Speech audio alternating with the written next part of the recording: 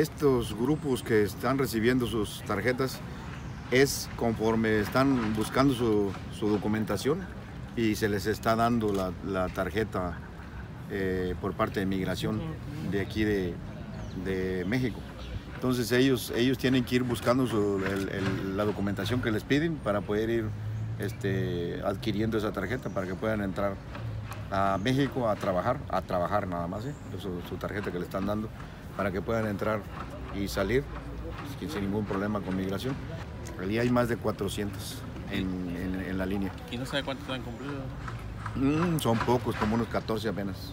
Como 14 personas son las que están, porque le dan a- a- al padre de familia y a la mamá y al niños también, para que puedan entrar y salir. Eh, tuvimos una reunión en Candelaria nosotros hace, hace como cuatro días con, con este, derechos humanos, con gente del gobierno del estado, gobierno federal, y, el único problema que tienen ahorita es el camino, el camino que ya, ya se arregló. Yo les dije, a mí, a mí tráiganme documentación de los dos ejidos de, de, de Sengaño y de Santa Rosa para que puedan tener un acceso directo, derecho, derecho porque tenían, pasaban por unas parcelas, pasaban por otras y no los, ya no los quisieron dejar pasar.